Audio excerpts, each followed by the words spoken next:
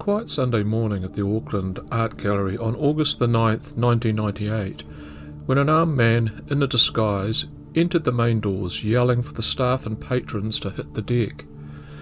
The gunman knew exactly what he was after. A single Victorian era painting, still on top, by French artist Tissot. The thief heads directly to his prize, crudely wrenches the frame from the wall, then employs a crowbar to prise the painting from the frame. In the process of the crime, he pushes an intervening security guard to the ground. Then, after a little over four minutes, departs the gallery towards the neighbouring park, discharging a barrel of his shotgun to deter anyone following. Makes his way through an alley to Princes Street, and hightails it on a high powered Honda motorbike with the painting slung over his shoulder in a bag and then onto the southern motorway. Little did the mullet wigged man under the helmet know, a bystander had already taken note of his rego and the police already had their first lead.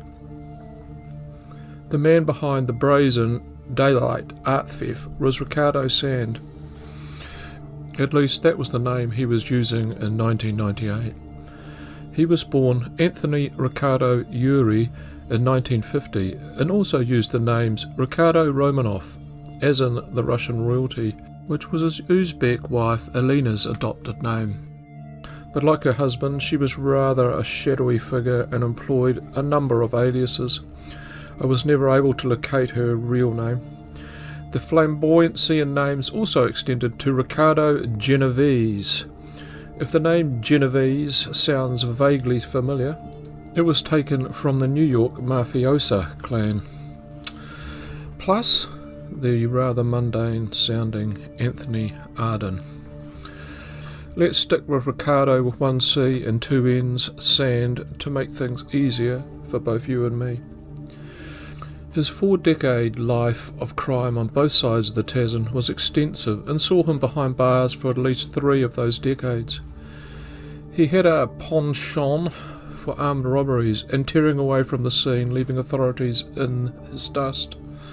At the same time, leaving enough evidence for him to be collared, at least on this side of the Tasman. In Australia, his dozen plus robberies traversed the breadth of the country, Perth to Sydney. He escaped detection and openly admitted to his participation well after the statute of limitations had expired. In 1984, in the company of Charles Wilbury, he held up an armoured guard security van outside the Birkenhead Foodtown supermarket, scoring a massive $295,000. They both got 10 years looking at striped sunlight, the judge describing Sannd as a menace to society. Late into this sentence, Sannd escaped the prison farm he was working on, going on the run for four weeks, in which, amongst other crimes, stole a motorbike, totaled it, and when caught, claimed he was suffering from amnesia. Forgot somehow he should have been inside a cell. The headline in the New Zealand Herald sums this up nicely. Freshly out of the clink in 1993 and with no intent of joining civilian life, Sannd entered the ANZ Bank in Kerikeri and robbed them at gunpoint, escaping on, you guessed it, a motorbike. Sannd's escape from the scene was a brief one. He and his cohort were tracked down just outside the town and cornered by armed police. For this, he got five years Plus, he was implicated in the planned robbery of Webb's auction house. Just after release, Sands travelled to Singapore where he married the Russian blonde he had been corresponding with. For matters obscured by privacy laws, Elena Romanov was denied entry into New Zealand, yet did manage to immigrate into Australia. A year later, Sannd was pulling the priceless painting off the wall of the Auckland Art Gallery. Let us now take a look at that robbery in more depth. In all cases of art theft, stealing the item is a relatively easy part of the process. There was, and still is, only one still on top in the world, And Tissot was a reasonably high profile artist. His paintings of the idle rich and biblical scenes fetched seven sums on the open market. That sort of figure was reflected in the insured value of the painting two million.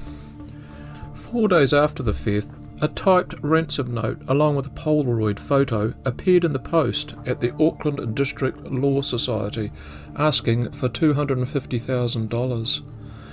The insurance company also, around that time, issued a no questions asked reward for $50,000 for the safe return of the painting. Bingo, they had a bite. The anonymous person collared Ricardo Sannd. The police only needed his name to know that lead was red hot. Sannd's long-time modus being threatening staff with a gun and fleeing on a high powered motorbike. He was soon tracked down to a house in Port Waikato and a search of the property was undertaken. Eight days after being flogged, the badly damaged painting was found under Sannd's beard inside a sack. Needless to say, a trial ensued, which made Gilbert and Sullivan look like non fiction. Not only had the police found the painting under Sannd's beard, the typewriter used to type the ransom note, and also the spent shotgun casing both matched the one in his house. Then there was the little matter of the motorbike in the garage with the same description and rego number of the one seen fleeing the scene. Despite the overwhelming evidence, Sands maintained his innocence and claimed he found the painting whilst vacuuming the house. Yes, really. His legal team urged him to plead guilty and take the rap. His reaction was to fire them and represent him in court. Having, I'm presuming, plenty of previous experience as to proceedings. There is, of course, a saying a man who represents himself in court has a fool for a client. Sannd's defence testimony bordered on laughable and gave us some insight into his thinking, or lack of it, at the time.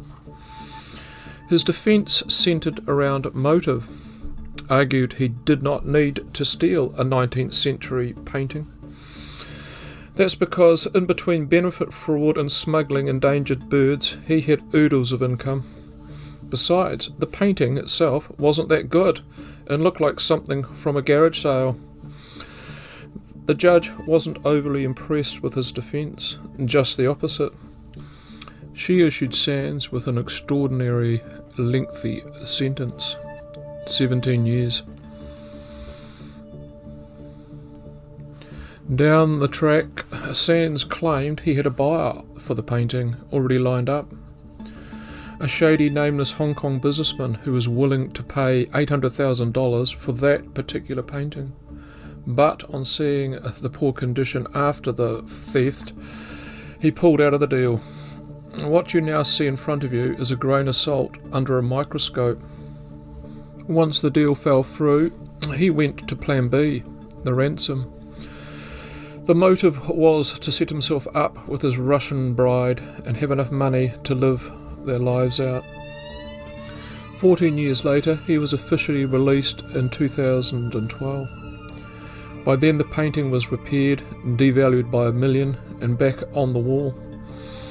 In 2006, though, he unofficially released himself. Escape number two, Come Crime Spree, lasted seven days and mirrored the previous one, except he stole a car this time. He got two more years added to his lag for that. Just months after his official release, and after he'd said he was a changed man, he was back behind bars after breaching bail conditions. A year later, 2013, he was involved in the theft of a limited edition Ducati motorbike worth $130,000 and found himself in the big house for the umpteenth time. The Ducati case is particularly complex, and needless to say, Sannd's statements as to how he came into the possession of the stolen bike, that's to say, using funds from a previous robbery and an unnamed mate in the UK who stored it for him awaiting for his release, need to be taken with a few of these.